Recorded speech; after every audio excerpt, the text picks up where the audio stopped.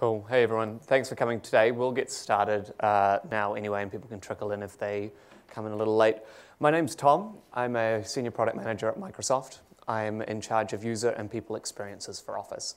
So my division uh, that I work with covers all of the user experience, the interface, how end users and admins interact with the product, and then right through to how people actually authenticate and sign in and the experiences that we're able uh, to essentially empower and enable users uh, with how they use the product and where we're surfacing their information.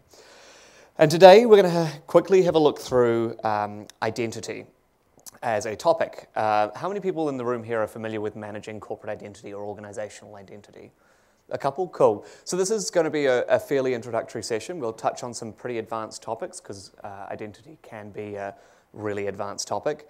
Uh, but what we're going to do is go through, just understand where identity came from uh, as a concept, how we manage it, and then some of the things that we're working towards at Microsoft and uh, where we're going to go over the next wee while. So we're going to go through why we care about it. Uh, we're going to look at a couple of global considerations for anyone that might have users or employees that sit outside of the US as well. There's some pretty big implications of that. We're going to go through some of the tools that are necessary to manage your organization's identity.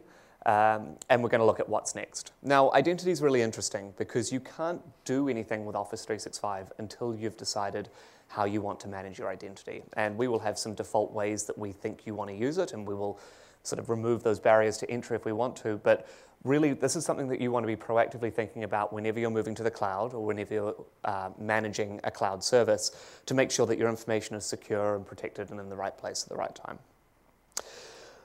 So, what is identity? Why do we care? Well, uh, when people move to the cloud, they're essentially looking for a couple of different things. They're looking for a service that's always up to date. You want it to be easy to maintain, you want it to be scalable. Uh, and when we remove the tools from that side of the equation, let's take out PowerPoint and Word and Outlook and your email and things like that, the service itself essentially has one thing that it has to do.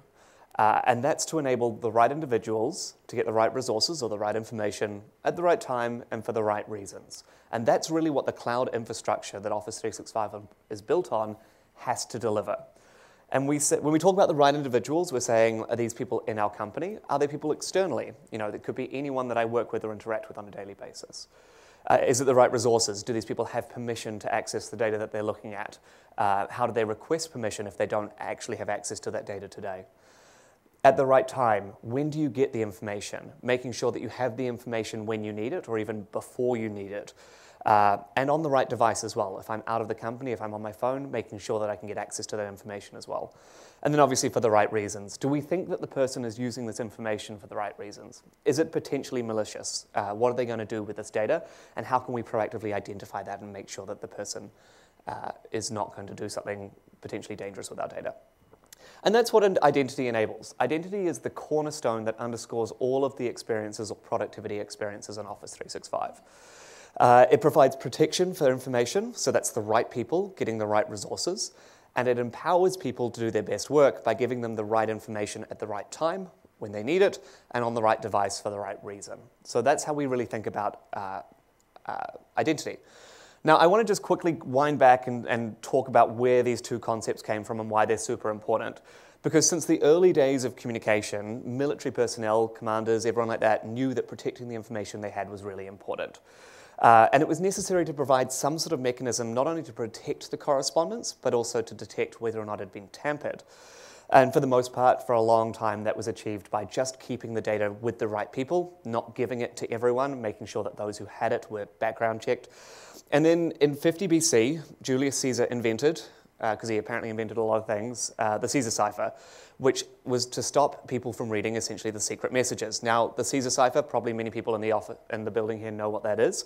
It's a substitution encoding. And what that does is it takes the plain text and it moves it and replaces it with an alphabet, alphabet letter a fixed number of positions down the alphabet. For example, in this one, we're talking about a right shift of six, that means that D would be J and K would be Q and so on. And so it's a very, very, very basic encryption. But it's still used today in a lot of different encryption technologies. In fact, this uh, puts down the base for hashing, which is what we do with passwords, which we'll talk about later on.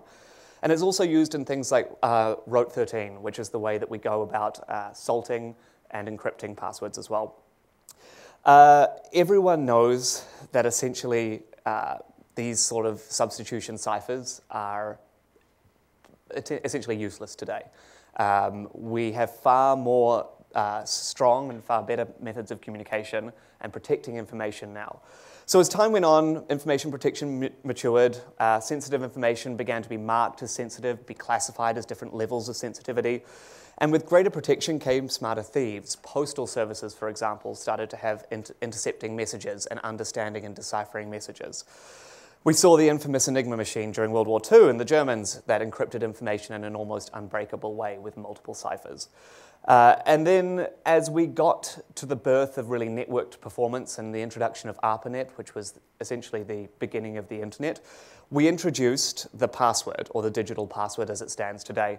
And for the most part, the password hasn't really changed. We've set more controls on the password, we've set requirements, but for the last 50 years, passwords have functioned as passwords. They are a key, a secret word that you use to get into and access information. And a decade ago, password theft seemed like something of, uh, that was really reserved to things like badly protected Hotmail accounts or your AIM screen name and things like that. Whereas these days, companies that hold our personal data, anyone from the New York Times to Facebook uh, to Twitter and Gmail, have at one time in their past or in their history been hacked. And so the password is suddenly becoming a really outdated way of protecting sensitive information. Um, this is always a really interesting and really terrible thing to look at, and I don't know why my slides aren't changing here, but uh, you know, the most common passwords that we have I always find it really interesting that Dragon makes it to the list, uh, being number seven. But for the most part, people's passwords are password or 1, 2, 3, 4, 5, 6, or QWERTY. So we're not really in a great place when it comes to uh, protecting information if this is the key blocker between a malicious party and your company's sensitive information. So we introduced um, OAuth, and this OAuth is a collective framework for information protection and control. Uh, really came out of a birth of a collaboration between Twitter and Google a number of years ago. And OAuth standards allow each of our security, uh, each of these secure services like Twitter and Facebook and Gmail and Outlook.com and Office to log in and share credentials with other services without actually sending your password to them. So a really great example of this is Facebook. When you log into the New York Times using your Facebook password, you're using OAuth. You're not, send, you're not giving the New York Times your Facebook password to use. You're using a dialog window, and they, the New York Times is told by Facebook that you are who you say you are, and they let you into their content. And it's a much smarter and safer way for us to allow for this validation because we're not just relying on the password anymore. We can put any number of authentication factors in between you and the data to make sure that it remains as secure as possible. So we're really at this point where we've got this OAuth standard for information protection. And in Microsoft, we call that modern authentication. But when it comes to the empowerment piece, we also need to make sure that we have the right tools that are there for you to be able to get the information you need and make sure that it's disseminable so if we look at where, um, where information dissemination came from, when we really look at it, back in the 1400s was when we had that first real explosion of information with the advent of the printing press. Uh, it was the first democratizing event really around, uh, around the world that gave every single person access to information. And it's really only spread, uh, spread from there. Every walk of life has essentially changed because of the knowledge distribution that we now have. And then this has also evolved, just like protection. We've had Web, web 1.0, you know, which is essentially referred to as the readable web. That's when I could read a website to get information. Web 2.0, that was when I could then reply and I could write on the web. And we're really now in this multidimensional collaboration form of Web 3.0, which is where I don't just want to reply to information, but I want to work in real time on executable uh, actions and documents and programs on the web. And evidence really suggests that we're already here in that Web 3.0 world. Employees work on two times as many teams as they did five years ago. Um, 41% of employees say that mobile apps are used every single day in their business. Um, and with that, we also have 160 million customer records le leaked every 12 months. Uh, and on average, it takes about 229 days for you to identify that your records have been leaked. So that information protection comes with the information empowerment. We can't give people access to greater information without also improving those controls for protecting the information as well. So the way we work's changed. You know, my office follows me wherever I am. Um, Brian, who I work with, who's in the back of the room here, said something great the other day, which was, you know, I didn't used to be able to leave my, leave my office in the coffee shop, which is so true now. You can leave your phone unlocked in the coffee shop and walk off for five minutes, and everyone has access to all the data that you have.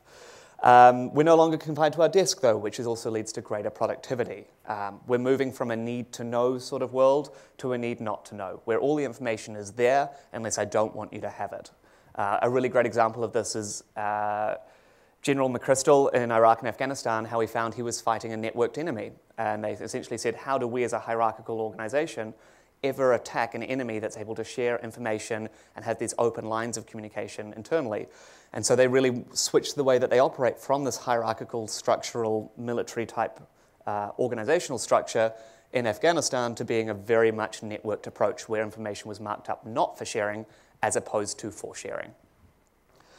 And so we're moving this away, and identity is enabling all of these new scenarios, and we'll talk about how that happens. But essentially, where we used to have all the documents being siloed in one area and conversations in one area, we had people in groups that were internal or external, and events that were limited to one person, is we now put the person at the center of what their identity is. Every person has sets of documents, sets of hooks, and events, and calendars, and chats and we want to make sure that th- that person is able to access that no matter where they are, on what device they're using. And also, if I'm someone that wants to collaborate with you, that I can also get access to your documents when and where it's valid. It's this people centric identity model. But people centric identity model is, you know, comes with a little bit uh, of a catch. Uh, in the ideal world, where does it leave us? Well, everyone in here, I mean, show of hands, who here has maybe two, three devices? Uh, in total. Yeah, we find that on average people have between five to seven devices, which sounds insane to me. Uh, but all of those devices require a separate login. And then if you're accessing information on those devices, you need information. You need to not only access that device, but you need a password to go and access that information. And that might be on premise and some servers that you have in your office. It may be in the private cloud. It may be in uh, Windows. It may be actually in a public cloud. And you've got to have a password for each of those connections as well. As a business, you may have some managed devices. You might have some phones or some tablets that are specific to your organization, and you only want certain people to be able to access those, uh, those devices. And then comes the cloud world. You know, we have all these incredible cloud services that are essential to getting things done in the modern world. Uh, things like Salesforce, Box, Dropbox, SAP, uh, Dynamics, Dynamics 365, Office. All of these cloud applications also require individual logins for every single person to access. And in order for you to maintain those and make sure that your data protection rules, that your privacy rules are all applied to them, as an IT administrator, you need to be managing every single one of those services. Uh, that means that if you mark up information for as being high business impact data in one, organiz- in one application, and someone shares it to another application, that application may not respect those data privacy rules. It may not even respect that person's uh, password once it's changed, and they have to change their password in every single one. And that's where identity comes in. Identity is the cornerstone of essentially enabling all of these experiences to work seamlessly together. So, where I have a login today, I could go and use that same login for on premise, right up into my own servers, and I can go and use it into the cloud. I can use it for my software as a service providers, I can use it for Azure, I can use it for Office 365 as well. And we at Microsoft offer that identity service called Azure AD. So Azure AD is our cloud identity service that helps you communicate and add all of these, oh, sorry, add and seamlessly um, conglomerate all of these different logins into one seamless process. And I'm going to show you how we can quickly go through and add a new application to our internal company directory to allow for single sign-on uh, in one of the examples later on today. So what does your identity provide you? Well, as part of Office 365, you get Azure AD. So every time you uh, sign up for Office 365, we create an Azure AD account in your name, and we add all of your users into Azure AD. So you get all of these advantages straight away. Single connection for all of these third-party things. So if you have Salesforce or SAP in your organization, go into Azure AD, add SAP, choose the hook, so you log in with both, we authenticate that it's the same one, and then every single user that you decide has access to that application gets provisioned into that application as well. If you change their password here, their password for SAP is going to change at the same time. If information is shared here, it's available to them in SAP. Uh, we allow self-service with this. So as, I don't know here if anyone here runs a small company and actually manages their IT themselves, but requests for password changes. I forgot my password. I can't get into the information even though my password, I swear it's correct. Those sort of requests come through all the time. Azure AD gives you a single service portal for all of these services to reset and manage your own identity. And it also gives you that single sign-on that we talked about before. So Azure AD is Microsoft's solution for this. Uh, it, it's uh, an incredibly well used and well deployed service. Uh, 85% of Fortune 500 companies are using it today. And we support over 110,000 third party applications, which is huge. That's you know, your boxes, your Dropbox, uh, Salesforce, everything like that. So a huge number of applications are able to be authenticated using this service. Uh, we process about 1.5 trillion authentications since we launched Azure AD. And on average, we do about 1.3 billion uh, transactions or, or pings to the service every single day. Now, just before I dive into Office 365 and how identity works on Office 365, I want to just be really clear about something from Microsoft because this is something that's caused a little bit of concern in the past. Um, Microsoft has two identity systems that we offer to the public, which is everyone here. We have our personal identity system, and that's Hotmail, Outlook, uh, with no organizational commitment. So your Microsoft ID is uh, tomb at outlook.com or at hotmail.com. And with that, Microsoft has a con- contractual obligation with the end user to provide them a level of service and provide them with uh, the privacy and security that they need. Then we have the organizational account. And the organizational account is run by the company, it's administered by the company, and we have a contractual agreement with the organization as opposed to with the end users. So there's no interaction with micro, from Microsoft to the end users. In this case, we're no, never going to send your end users promotional emails because they're using the service. We uh, very much limit the amount of exposure and messaging services that we have to end users as a result. Uh, it's centralized management for the admin. So if you have 100 users, you don't need to tell them to go and sign up individually. You can manage that service yourself using Azure AD. And we power all of our internal applications on this. So Dynamics, CRM, Azure, Office 365, they're all built on the Microsoft organizational uh, account. It also gives you that flexibility, though, um, that if you do want to use an org ID, uh, sorry, a, a, Microsoft ID, you can do that in certain circumstances. So if you have Azure, or if you want to use Office uh, from a personal perspective, you can still sign in using a Microsoft account, but you're going to get far less service and far less functionality as a result of that. So we're going to focus today just on the organizational account side of things. And we're going to talk about three very different models that you can choose to deploy identity within your own environment here. And these models really came uh, about over time. We didn't introduce all three of these at the same time. So from the left, we really began with organizations storing their identity on premise. Uh, we started using things like System Center, an Active Directory installed on a Windows server within your organization. And when we had that directory stored on our servers, everything was fine until we really had this mobile revolution, until we needed to start accessing not just email, but services from, internal, uh, from inside the business on devices outside the organization. Uh, and we had small ways of doing this. We used to open up VPNs or little tunnels to people, or little holes essentially in our perimeter to let people in. Uh, we maintained external portals so that people could check their email address that the IT had to manage themselves. And it wasn't necessarily great. So when bring your own device happened and people wanted to use their own device, they wanted to bring it into the workforce, we started seeing a lot of shadow IT, uh, unapproved people, uh, ways of communicating because IT just hadn't kept up. And suddenly we needed to look at a hybrid world. Uh, we needed Intune essentially to allow people to authenticate on different devices, uh, no matter what they were, whether they were iOS or Android or Windows. And that led us to more of a hybrid model where you had some of your, you had your directory data stored on premise, but you allowed people to access it by replicating that information in the cloud. And then we moved to a cloud model. There's a lot of businesses today, or young businesses today, that don't even employ an on premise directory. They manage all of their directory in the cloud. And with that, you need to, um, we needed some uh, services that could empower both rich clients, as in like Word, PowerPoint, and uh, Excel on your desktop, also the mobile applications, and allow people to pull APIs, to pull from random data sources that we didn't even know existed when we built the product in the first place. And people required a second factor of authentication. So they said, well, people are using mobile devices. I'm not even managing my directory on premise. I really want to make sure this is still secure. Let's do phone factor, which is I get a phone call when I log in or I get a text message when I log in. And that was where cloud identity came in and some of the advantages that it provided. So the three models that we're going to go through today are synchronized identity model, a federated identity model, and a cloud identity model. And there are two parts to this discussion. The first is where do we store the names of your users? So if you look at the bottom here, we have on-premise identity on the two left-hand boxes. Um, and that's where we're storing the information for your users. That's the first name and the last name, and the password. Now, what's really important about this is that some companies don't want to put their users' identity in the cloud.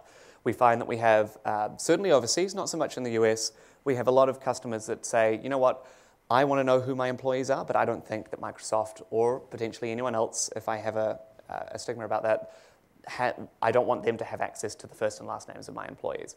And so that's why these two models are really important still, because there are ways that you can obfuscate and, and hide the names essentially from being in the cloud. Uh, and then the second part of this discussion is not just where the names are stored, um, because where the names are stored is also going to enable things like a people picker or uh, instant messaging or e uh, like internal email and searches for people's names, but also how do people sign in? How do we validate that access? Uh, if you have an existing directory on premise, uh, you can integrate Office 365 either through that single sign-on, the federated and the cloud identity model, but there are different ways for you to sign in depending on how you approach this model. And we're going to talk about those differences a little later on. Cool, so the first one I'm going to talk through is synchronized identity. Now this is really simple, um, which is really great, and I, and I want to make sure, because it's a small room, if you do have any questions, feel free to put up your hand at any time and, and we can stop, we can go back, we can go forwards, we can do anything like that, because we have time.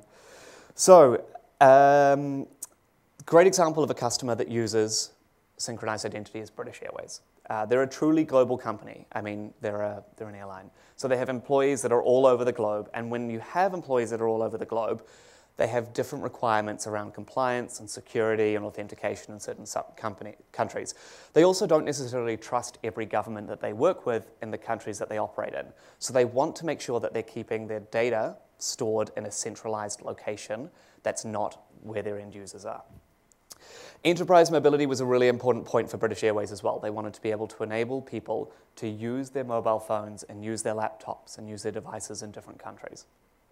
And they had a lot of existing infrastructure. They didn't come out of nowhere. British Airways has been around forever and they had an on-premise directory. They had VPN. They had different ways for people to access information. And they didn't want to just uproot all of that and move it to the cloud. They wanted to really see how they could use their existing infrastructure and really easily transition to using Office 365. So they chose to use synchronized identity. Synchronized identity is really simple, and it's exactly as the name suggests. I have all of my users' data on premise, and that's on the uh, right-hand side of the screen. I synchronize it to the cloud using a tool called Azure AD Connect that keeps the database in sync every three hours. So we update the database with new users, we send that to the cloud, and we check if there's any changes that have happened in the cloud database, and we synchronize those back into, into the normal one. So we make sure that these are still in sync with each other, um, and it means that we don't need to go back to your on-premise directory for passwords. We bring your password up to the cloud. And when we bring your password up to the cloud, we do something that we call hashing, which is a little bit like the Caesar cipher that we talked about earlier. It's where we take the information and we encrypt it further. Normally, when you put your uh, password into Azure, or sorry, into Active Directory on premise, we will hash the password. Sometimes it's MD5, which is a standard. Sometimes we use other encryption technologies as well. But essentially what that does is it turns something like the word password into a 25-letter uh, code uh, that you can't necessarily reverse. It's a one-way hash, and we'll go through that in a second. Um, to configure the synchronized identity model, all you need to do is have the on-premise directory, download Azure uh, AD Connect, and connect it to your Office 365 account, and every single person in your organization who previously had access to any of your internal tools now has access to Office 365. And we keep that all in sync all the time. Um, all services as well, once we've now brought, used the sync tool to bring it to the cloud, you can use SAP and Salesforce and everything like that and just synchronize it with that Azure Active Directory uh, replica of your on-premise database so everyone can use single sign-on. So password hashing, uh, we've talked about that being on-premise and we definitely do on-premises, sorry, and we do that on-premises all the time. Um, what we do, though, when we use Azure AD Connect, is we do an additional level of encryption. So we, add, we hash it again using an even stronger technology, and then we send all of the password uh, hash details over an SSL encrypted connection both ways. So it's a very, very, very secure way of, of storing your passwords in the cloud. Um, and I want to really press that because a lot of the reasons people use the federated identity model, which we're going to come to in a second, is that they don't trust us storing their passwords in the, crowd, in the cloud. But in reality, the cloud versions of your password in this case are even stronger than the hashed passwords that we have on premises. So it's a very, very secure way to store your passwords in the cloud. It's also non-reversible. So once it's gone one way, it's almost impossible to reverse a hash out and turn it into a password again. What we actually do when someone types in their password uh, using the front end is we hash it and we check that the two hashes match. So you never actually get a raw version of the password again. Does that make sense? So when should you use this? You should use this method when you already have an on-premises directory and you want to synchronize your user accounts and uh, optionally, as we talked about, the passwords. Uh, it also, uh, you should also use this if you know that you're going to eventually want to use federated identity. Uh, federated is the next step. It's a lot more complicated. It allows for a couple of additional scenarios, which we'll talk about in a second. But it's a good stepping stone if you want to get there. Uh, and the last thing is you know that your Azure Active Directory or your, your on-premise Active Directory is in good health. If you know that that database is a really good representation of your users that you have today, you know that their passwords are up to date and their information is up to date, our express settings on Azure AD, AD Connect are going to work really well for you right out of the gate. And you can just get your uh, directory up into the cloud in no time at all. Any questions on synchronized identity? We'll move on. I think they'll have some soon. Yeah, go for it. Um, I have a couple of clients that are um, using the Office 365 uh, directory. Mm-hmm. Uh, they also have on-prem, they're split. Okay, Um, and they also are interested in just using a VM and Azure sure. uh, to use AD Connect. Uh-huh. Um, so how do you piece all those pieces together or move from disparate platforms into something that makes more sense?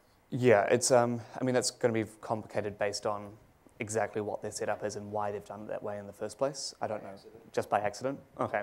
Um, there are some c- tools, and have you used Azure AD Connect? Yes. Like, Yeah. So there are some tools that you can do around, um, you know, duplicate checking and things like that as well. If we, if you were going to just do a migration all at once, um, and we can, I can talk you through these. I've actually got a set of resources at the end of the slide deck to talk through a couple of the different ones. Is it safe to say that you can't use Azure uh, Active Directory with AD Connect on-prem and then on-prem also with Office 365?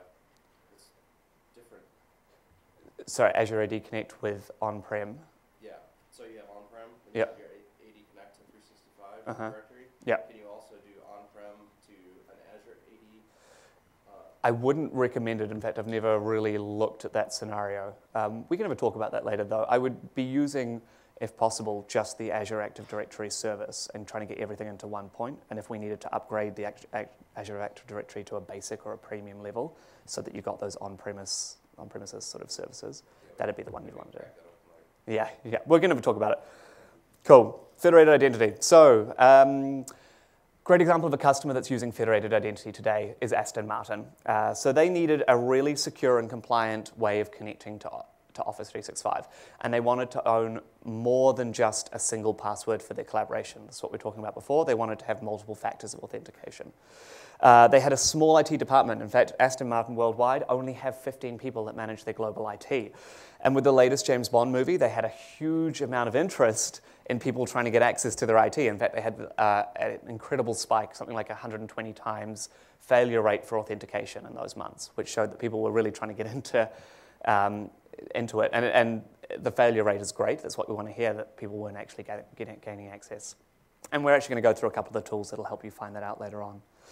So they chose uh, to do some group policies which kept their data secure. They wanted to make sure that only certain people within the company had access to certain information on certain devices at certain times.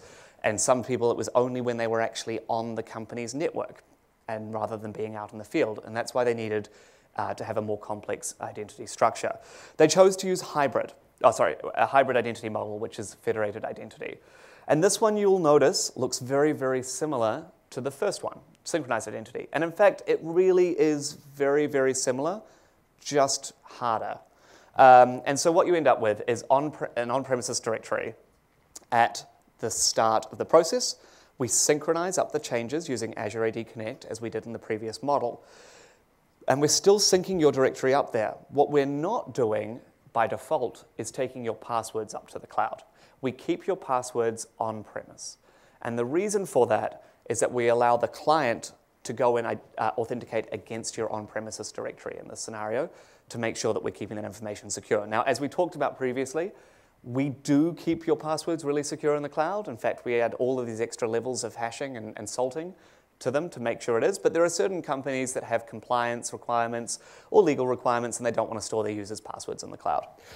So in this scenario, I'm a user, I've got my phone there. I send my login request to Office 365 and my password goes through Active Directory Federation Services, ADFS down the bottom, through to my on-premise directory.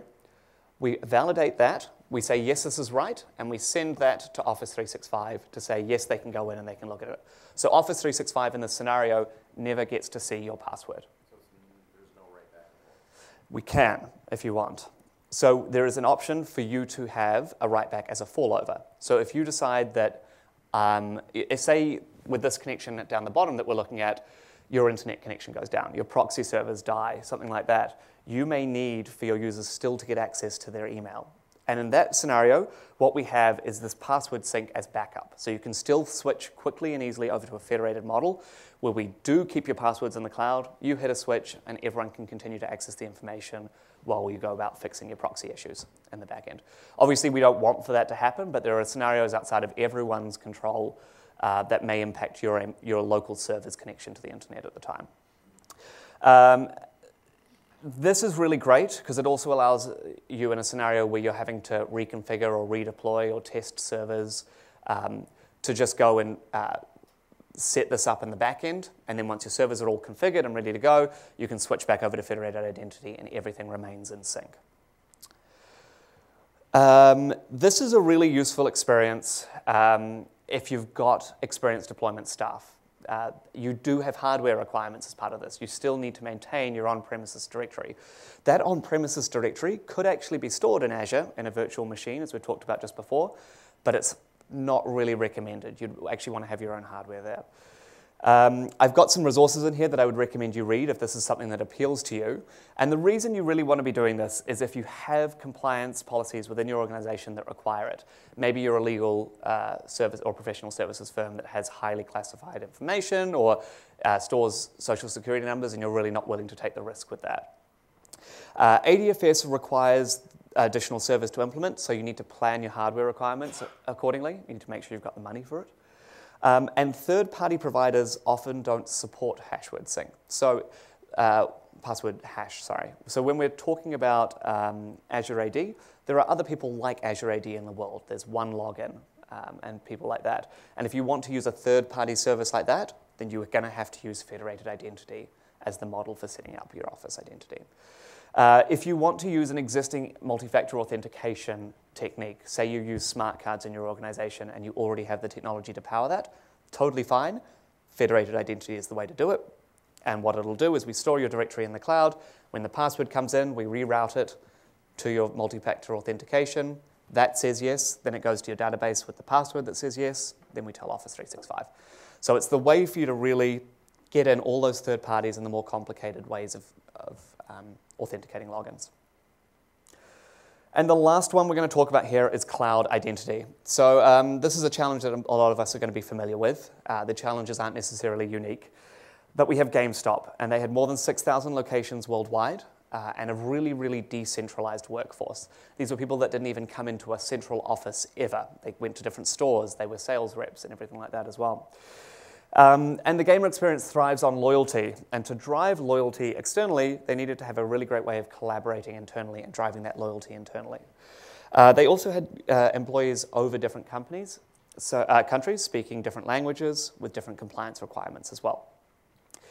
Plus, they had a lot of existing infrastructure when it came to cloud services. So they were a fairly ad- early adopter of the cloud, and they had an internal portal that was already built on Azure AD. It had all of the service uh, and the Federation services. They had built a couple of their websites using uh, Azure uh, app services as well. And so they were already fairly invested in the Microsoft stack. And this is the cloud identity model. I love this because it's so simple. It really is this clean. It's the idea that the user sends their password to the service and the service lets them in.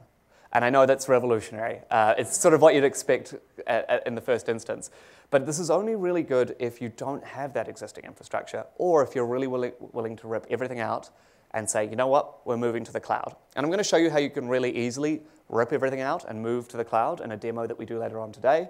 But it does mean that uh, a lot of the existing hardware and the infrastructure that you've already built and already invested in is, is no longer relevant.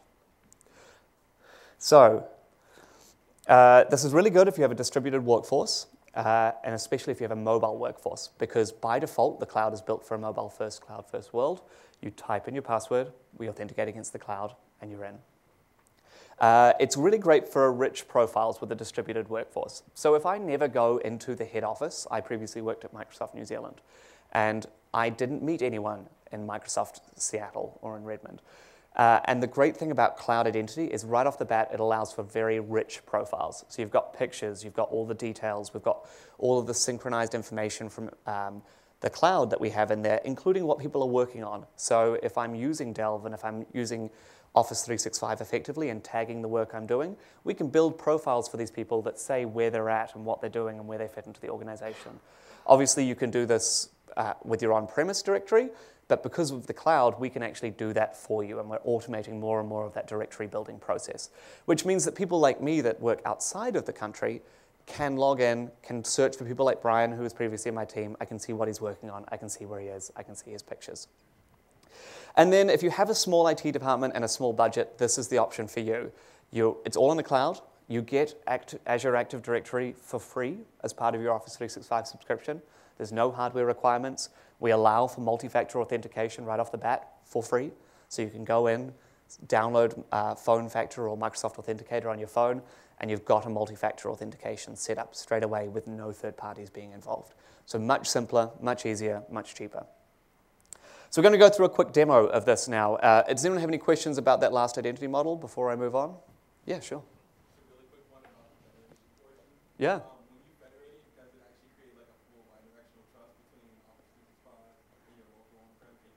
Yeah, so um, it depends what you choose to set it up with, and you can choose how much information you want to write back, um, and you can also choose if you want to sync passwords. But the, the good thing about Federation is it's almost infin infinitely customizable. You get to choose just how much of a secure relationship you want to build between the two servers.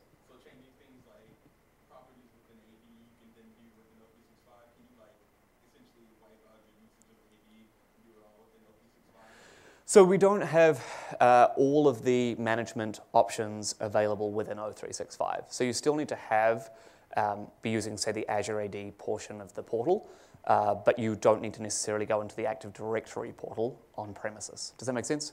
So you still get all of the Active Directory features. They may not be surfaced within the admin portion of the Office 365 portal. That'll be in Azure Active Directory. Cool. Yeah, go for it.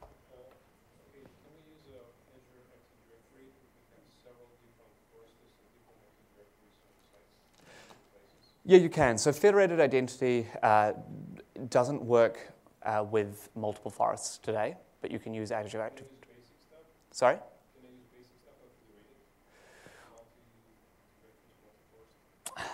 I don't know what we've announced with Azure AD Connect. I'll need to double check for you. But if you want to leave your business card with me, I can get back to you on that one. Yeah. Cool. So what I'm going to do is just duplicate my screen so you can see this.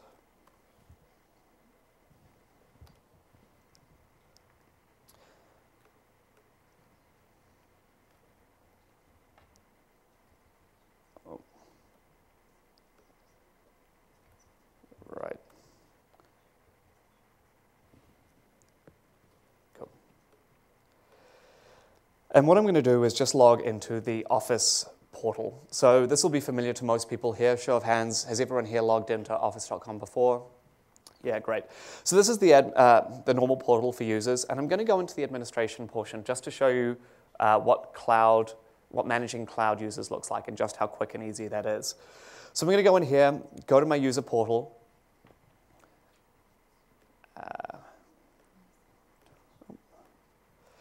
And I can go in and right from the homepage, I can go and add a member to my Azure Active Directory. I'm not going to do it uh, right now, uh, but I can go through, I can put in first and last name, what I want it to come up as, set them as an email address, a location, some contact information, these are all standard fields that we have in Active Directory, and assign them a license.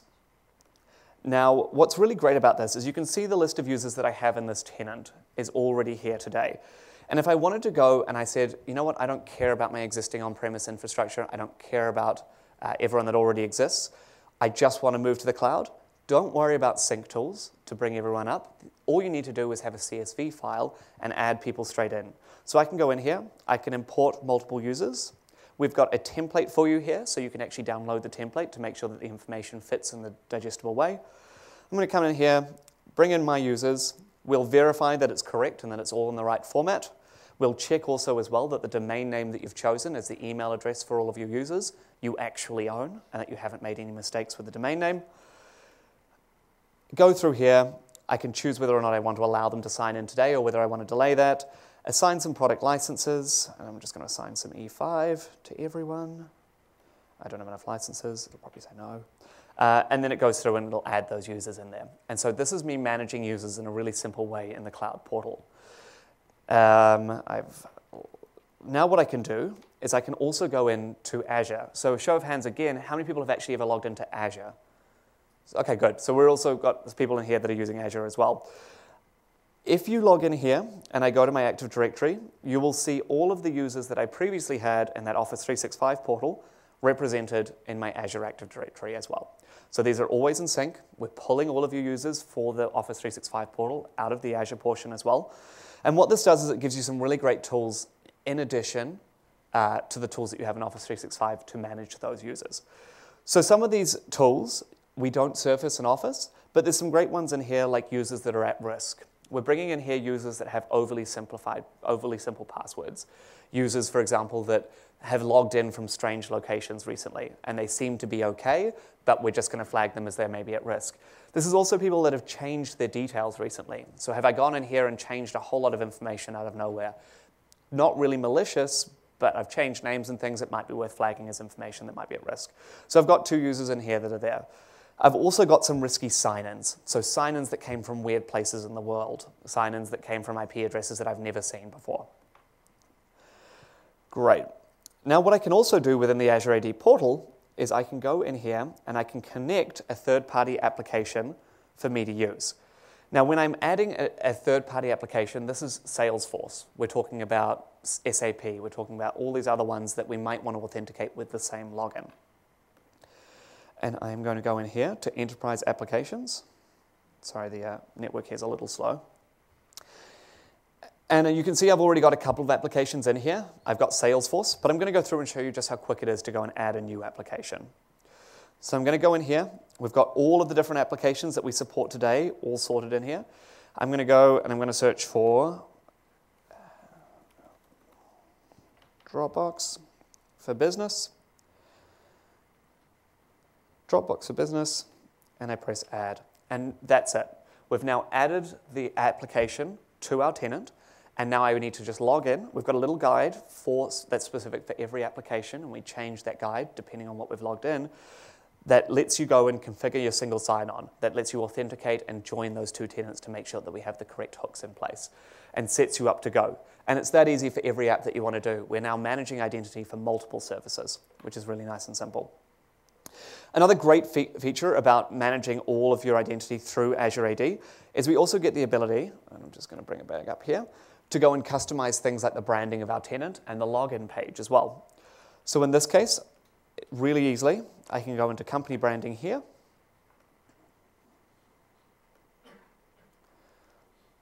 I'm going to edit my company branding. I'm going to attach some pictures, maybe a picture of Chicago, and my company logo. Um, and I'm also going to say that, you know what, I don't want my users to ever be able to stay signed in because it's really important for me to not allow them to save their password details in the browser. Save that. And now I've updated the login page as well. So where you could always update your Office 365 look and feel with your logo and your template and your theme, you can now customize the login page as well. So Azure AD is a really powerful set of tools to manage the identity that's in the backend, but you need to make sure that you navigate to this from Office. So Office will give you a certain number of uh, features and scenarios that you can change. Azure AD is going to really empower those even further. And at any time you want, you can always choose to upgrade these features. If you're looking at things like advanced threat protection, or if you're looking at a whole lot of um, Azure AD premium features like group-based licensing or enabling yourself to manage users in a bulk way, you can always go in here and manage those through Azure AD if you choose to upgrade your solution, uh, upgrade your subscription. Awesome. Cool. So uh, we have gone through uh, how you get your identities to the cloud. We've mixed the on-premise and the cloud identities for that P PC, mobile, web productivity scenarios. And we've also really had a, a little look at the cloud uh, cloud-based identities as well and how much e quicker and easier they are to use. Before we move on to sort of question and answers, I wanted to have a quick talk about what the future of identity looks like here. And a lot, a lot of the questions that I certainly get are around LinkedIn. Uh, LinkedIn is something that we, we purchased a little while back uh, for a vast sum of money. And um, there's really some great similarities between our two businesses. Uh, we have 1.2 billion Office users today, and they have 433 million members. And certainly Office looks at, uh, at, our users like members. These are people who have invested in our software. They're people that log in and they use it every day. And we want to treat uh, Office users like they are members of a community. Uh, we have uh, 70 million Office 365 monthly active users, which is a huge number. Uh, LinkedIn is listing 7 million job listings uh, all the time, oh, sorry, active job listings at the moment. Uh, they've got 9 million individual company pages. They've got 50,000 university pages, and they've got 2 million paid subscribers. These are people that are paying for services within the business. So these are really, really big um, sets of data that we now have access to as part of LinkedIn, but they've also got a really engaged and um, collaborative and productive community that we also want to tap into as well. And so when we talked about putting people at the center of identity, like we did at the very start of this presentation, we talked about having your events and your chats and your Word documents and your PowerPoint all around the single user. And that's where LinkedIn can come in. LinkedIn can really enhance that experience, where we've got your documents, we've got your uh, Windows life and the device life that you have as well, but then we also have your LinkedIn information from the LinkedIn graph. So things like what you're learning, what you're researching at the moment, who you're working with from outside the organization. If I'm emailing Jane from Contoso, from Microsoft, and I've never met her before, where does she fit in the organization? How can we help surface that information in a natural way within your Outlook experience? So, where the people card is a contact card today, it's going to become much more of a person card in the future, where it's not just Jane Smith uh, from Contoso, but it says Jane Smith Contoso, previously worked at focus areas, what she works on, so you understand that you're working with the right people in the right place. When we merge these two graphs as well, it'll also help you do better business with other people externally. You get to choose how much information you want to, to put out there publicly. When you're connecting with people externally, uh, internally every day, we can encourage connections on the web and we can encourage connections within LinkedIn so that LinkedIn begins to function as your public uh, business profile or public commercial profile, and your internal profile is managed within Office as well. And so you can synchronize the data that you have there, the projects that you are working on. And uh, that's all we have to talk about today. But in the next two months, you'll see some big announcements coming out of the LinkedIn team um, with some pretty cool new product features that they're going to be announcing. So next steps, and what I'd really recommend you guys do, um, is I'd have a look at Microsoft Enterprise Mobility Suite. A lot of the scenarios we talked about today with managing mobile devices uh, through Azure Active Directory um, are really useful tools, but your business needs to know how to really use them, how to deploy them, and how to interact with them. Uh, visit TechNet and MSDN for some really good resources. The links in this presentation, which I'm going to publish, will actually take you directly to the identity pages as well. Uh, we have a couple of things that I would recommend. Uh, the first is uh, looking at our roadshow presentations. There are more resources in there today. And we also have a set of identity frameworks that you can visit on the website as well at IT Innovation. So I've got a descriptor for each of those three scenarios that we talked about today, as well as a video that ties them all together. And then if you can rate the session and then let me know if you have any questions, feel free to tweet at me at any time. Um, the identity team is really highly engaged with us on the Office network as well. So if you do have any questions, let us know and we're more than happy to, to get those answered. Thanks so much, guys.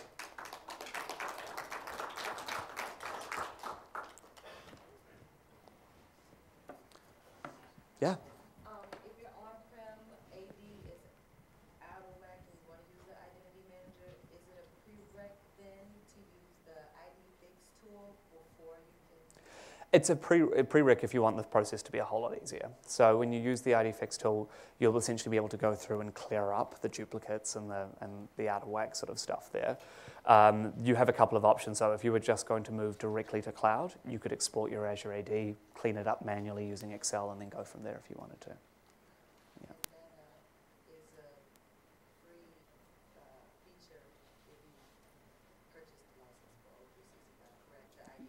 It is. It is. It's part of Office 365.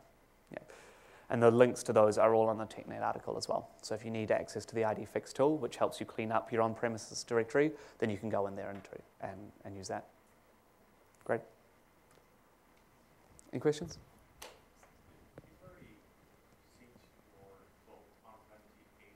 Mm-hmm.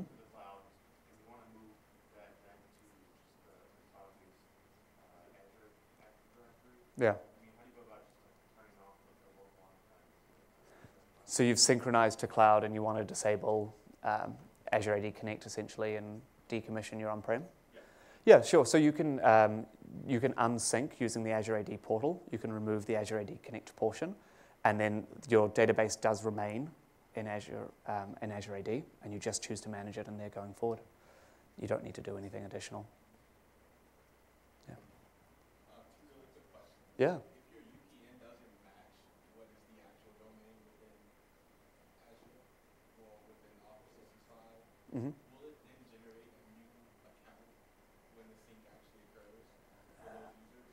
If your UPN doesn't match, um, no, it's not going to convert it automatically. Um, so if you run the UPN, yeah, I don't know actually what happens in that scenario. It, I don't think it. I think it would create a new user account. It's not going to match them up. Yeah. Yeah, you need to run ID fix first. I have one other question, but it's like extremely specific. Yeah. I don't know if I should throw it out there. or not. Yeah, go for it. Why not?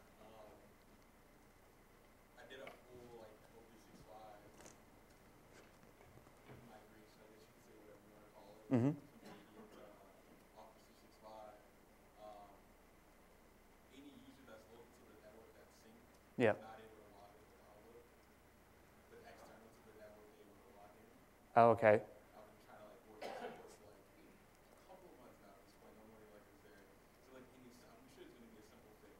Yeah.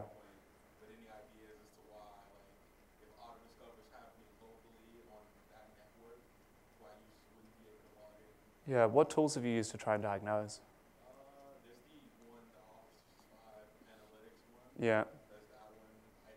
One. Yeah. A few other things, but they've just been engaging different engineers on the task so far. Oh, okay, so it's, it's been escalated to Microsoft and they're having a look at it. Yeah, um, so the one place that I would recommend you go is network.office.com. There's an identity portal there. And if you put it in there, it, it sort of at least gets it officially on everyone's radars so that we can have a look and see what it is. Um, there's a really good session, which I've linked to in this presentation, around diagnosing authentication issues that was delivered by um, someone at Ignite and at Jonas, and he did a really, really good job of sort of saying these are the different tools that you can use at different stages.